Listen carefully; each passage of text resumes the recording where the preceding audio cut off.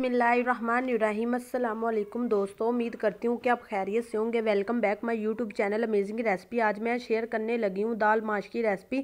दाल माश के लिए आपने मेरी वीडियो को क्लिक किया, इसके लिए मैं आपकी शुक्रगुजार हूँ। दाल माश बहुत सारे लोगों से मज़ेदार, खुशबूदार, तैयार नहीं होती, कोई ना कोई कमी रह जाती है। इस रेसिपी को अगर मुकम्मल देख लेते हैं, समझ लेते हैं, गारंटी है दाल माश आपकी गज़ब की तैयार होगी। पाँच सौ ग्राम दाल माश ली थी, जिसको अच्छे तरीके से चुन लिया था और तीन चार पानी से अच्छे तरीके से धो लिया था और नेम गर्म पानी में इसे आधे घंटे से भिगो कर रखा हुआ था। दाल का पानी जो सा था वो निकाल लिया है। एक पाव हमने माश की दाल ली थी। डेढ़ गिलास से दो गिलास भर के पानी शामिल कर देंगे और अब हम डाल देंगे दाल माश हमने तकरीबन 50 ग्राम दाल माश ली है। बर्तनों को अच्छे से साफ़ किया करें। कोई भी चीज़ रहनी नहीं चाहिए। यहाँ हम ढक्कन रख देंगे और एक उबाल आएगा। उसके बाद लो फ्लेम पर रख देंगे। दाल जोन सी अच्छे से गल जाए। हमने इसको तकरीबन सेवेंटी परसेंट गला लेना है। देखिए, हमारी दाल जोन सी है। आपको चेक करवाती हूँ। दाल अच्छे से गल चुकी है। अब हम एक बोल में निकाल कर इसको साइड पर रख देंगे। अब हम इसका मसाला तैयार करेंगे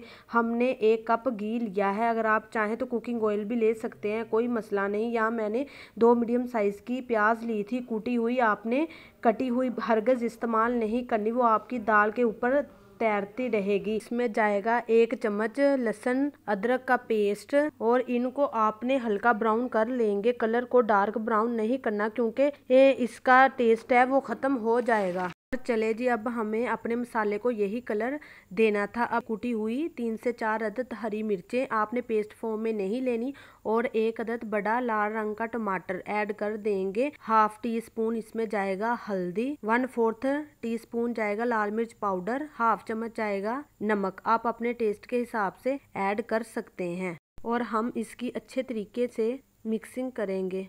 थोड़ा सा पानी ऐड कर देंगे जिससे हमारा मसाला है वो नीचे ना लगे और जले ना। दोस्तों, अगर हमारा मसाला अच्छा बनेगा तभी हमारी दाल भी अच्छी बनेगी। और यहाँ देखिए हमारा मसाला जोन सा है वो बिल्कुल तैयार हो चुका है। इसका घी जोन सा है वो भी सेपरेट हो चुका है। इसी तरह का हमें मसाला चाहिए था। मसाले के अंदर शामिल कर देंगे अपनी बॉयल की हुई दाल को। दाल जो है काफ़ी हद तक गल चुकी है। आपको दाल की लुक देख रहे हैं। हम अच्छे तरीके से इसकी मिक्सिंग करेंगे और यहाँ आप देख सकते हैं दाल का लुक। इस रेसिपी में अगर आपसे दाल का जो पानी है अगर ज़्यादा शामिल हो जाता है तो कोई टेंशन की बात नहीं। आपकी दाल को कुछ नहीं होगा। आपने बेफिक्र होके दाल को तैयार कर सकते हैं। अब हम इसको लो फ्लेम पर पकने देंगे। जब तक कि दाल आपकी फेवरेट दाल हद तक तैयार नहीं हो जाती। दो ग्रीन चिली, थोड़ा सा धनिया, जिसको मैंने अच्छे तरीके से धो लिया था, और खुशबू के लिए डाल देंगे गरम मसाला हाफ़ टी स्पून पानी खुश्क हो चुका है, जितना भी घी था, ऊपर आ चुका है. यकीन मानिए, ये इतनी ज़बरदस्त, इतनी जायकेदार तैयार हुई है कि अगर आप इस तरह इस रेसिपी को एक बार ट्राई कर लेते हैं तो आपकी फेवरेट रेसिपी में शामिल हो जाएगी. दाल का दाना दाना खिला अपनी जगह पे मौजूद है. माश की दाल हो चुकी है तैयार.